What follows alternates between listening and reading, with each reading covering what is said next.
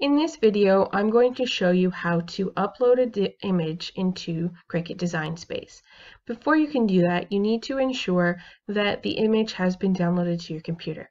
So open up a web browser and search for something that you would like to cut out in Cricut Design Space. Download the image and remember where you've saved it.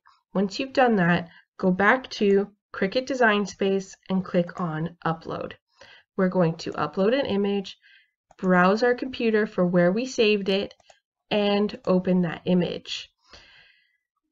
From here, we're going to select the image type. Since this is a simple image with a single color, we're just going to select simple and continue.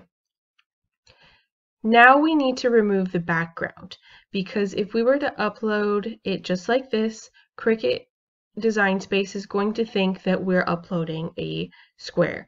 So take your cursor and click on the background of everything that you do not want the Cricut to cut out. So you could leave it just like this, uh, but this section here will not be cut out.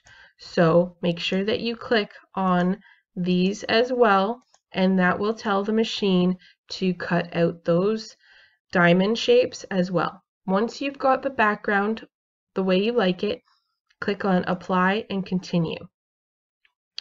Now that we are left with a the two options here. The cut image is going to simply just cut out the image. Print then cut means there is an extra step where you print out your image and then feed it back through to cut it out. You may use this if you want a design on the image that you're cutting out. Say for example, we're doing a snowflake and we want to have a pattern on these lines as well, maybe a different color, maybe a rainbow color or something like that, then you would use that.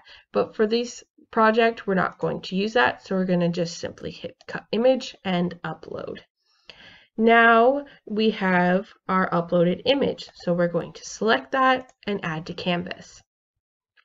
The other thing I want to say about uploading an image is that Cricut Design Space saves all of your uploaded images. So if you were to do another project, your images would all be kept here and you can reuse them again and again.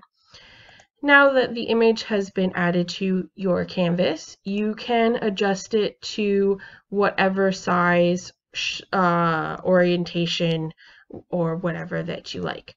So this has defaulted to a size that is too big to be cut out, so you definitely want to make sure that you make that smaller so that it's going to fit when you go to cut it out. And that is how you upload a image into Cricut Design Space.